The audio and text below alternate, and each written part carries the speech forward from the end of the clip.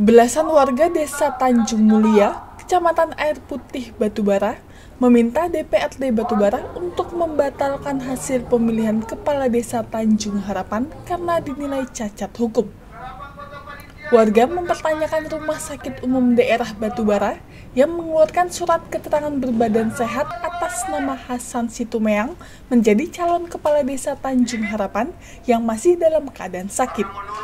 Hasan Situmeang, calon kepala desa sebagai calon incumbent, berhasil mengalahkan rivalnya Guntur dengan selisih suara 117 suara. Menurut salah seorang warga, Taufik, hal seperti ini sudah biasa terjadi. Manakala calon yang diusungnya kalah, maka warga terkesan mencari-cari alasan untuk membatalkan hasil pemilihan kepala desa. Menurut yang kalau menang itu ya yang jelas dipilih oleh rakyatnya, makanya dia bisa menang kan itu.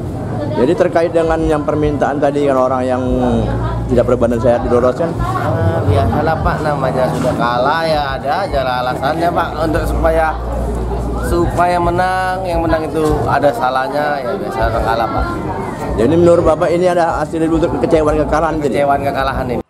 Ketua DPRD Batubara M. Safi'i menerima aspirasi masyarakat desa Tanjung Harapan yang menolak hasil pemilihan kepala desa yang lalu. DPRD Batubara segera menggelar sidang rapat dengar pendapat terkait sengketa pilkades serentak yang digelar beberapa pekan yang lalu. Terkait gugur tidaknya calon kepala desa atau pembatalan hasil pilkades harus dihimpun semua keterangan yang ada. Dari Desa Tanjung Harapan yang berkaitan dengan e, masalah pilkades yang menurut mereka bahwa e, calon terpilih dalam kondisi yang tidak sehat, artinya kondisi sakit uh, laporan ini sebenarnya sudah saya disposisikan dan kami disposisikan uh, terkait laporan pilkades tersebut dari tanggal 28 November yang lalu. Uh, rencana kalau tidak ada halangan besok akan dirapat dengar pendapatkan antara uh, si pelapor dengan uh, lembaga yang berkaitan masalah pilkades. Lembaga yang menangani tentang pilkades tersebut akan kami panggil secara kelembagaan besok. Memang uh, rencana di ruang rapat umum.